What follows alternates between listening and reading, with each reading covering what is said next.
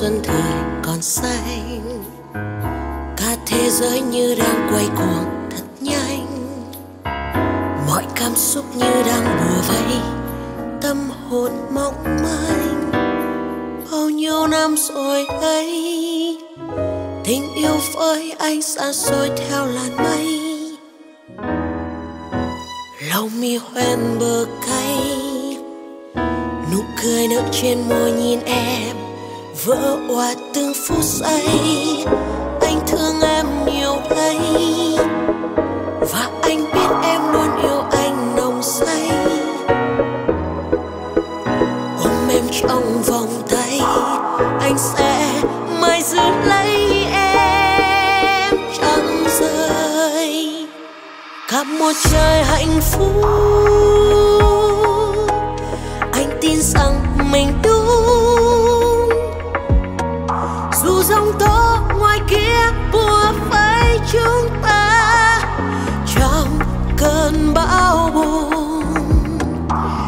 Một đời hạnh phúc.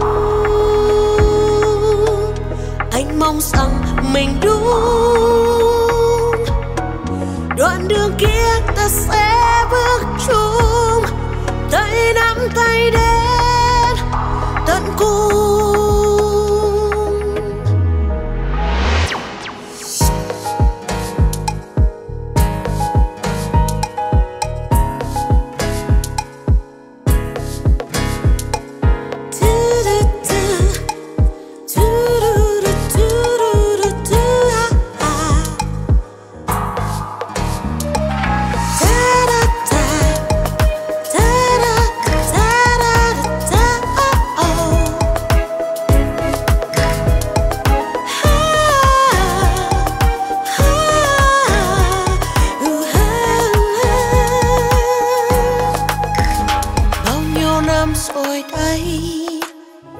tình yêu với anh xa xôi theo làn mây.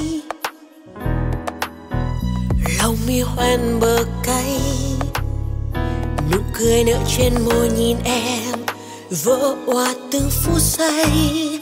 Anh thương em nhiều đây, và anh biết em luôn yêu anh nồng say. Ôm em trong vòng tay, anh sẽ mãi giữ lấy em chẳng rời cả một trời hạnh phúc. Anh tin rằng mình đúng. Dù giông tố ngoài kia bùa phải chúng ta, trong cơn bão buồn, cả một đời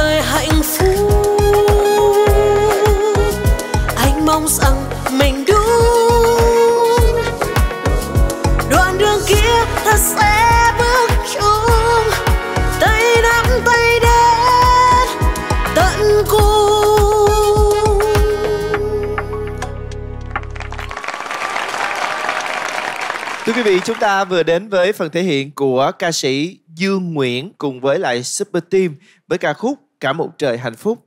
Mỹ chị Bi em gật nhiều nhất đó, em chia sẻ trước đi. Đây là ca khúc mà em nghe xong em cảm thấy hạnh phúc nhất. Đấy, em chỉ có nói thế thôi.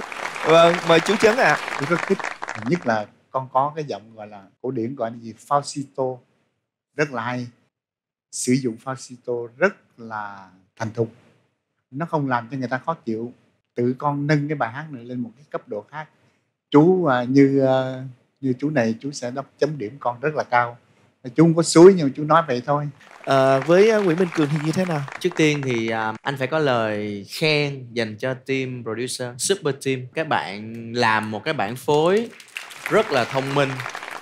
Tất cả mọi thứ đều vừa đủ, vừa đủ để đưa cái giọng hát của ca sĩ vào một cách hợp lý vô cùng. Sự thông minh đó đã giúp cho cái phần trình diễn của bạn Dương Nguyễn này trở nên trọn vẹn. Còn đối với Dương Nguyễn anh rất là bất ngờ cái lời mời từ uh, The Only. Thì anh đã mạnh dạn đưa cái ca khúc này ra để tìm kiếm một cái chất giọng phù hợp với nó. Và thực sự hôm nay anh rất hạnh phúc tại vì ca khúc của mình đã tìm được một chất giọng phù hợp hoàn toàn. Như vậy là có ba sự đồng ý rồi à. Đội nhà có vẻ thoải mái hơn trong phần chia sẻ của mình. À, xin mời chị nhà.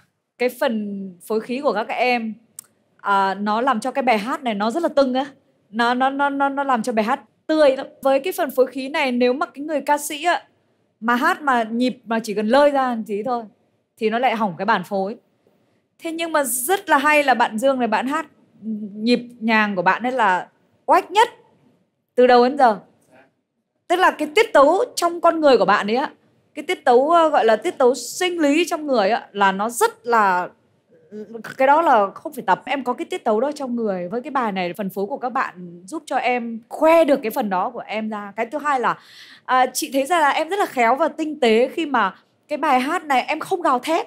À, cái đấy mới là cái hay. Em hát rất là nhẹ nhàng và đỉnh cao của hát nhẹ nhàng mới là khó. Thông thường ai cũng nghĩ bài này nó sẽ hợp với là sự nức nở nè sự gào rống lên. Đấy đau lòng á. À, dạ. Nhưng mà em hát không thế. Cái thông điệp trong cái bài hát của em nó được kể với một cái góc nhìn mới là có kỹ thuật nè nhưng mà rất là hạnh phúc. Điều đó là cái điều mà anh thấy là đã nhất trong phần trình diễn của em. Bây giờ xin mời số điểm của ca sĩ Hoàng Yến chibi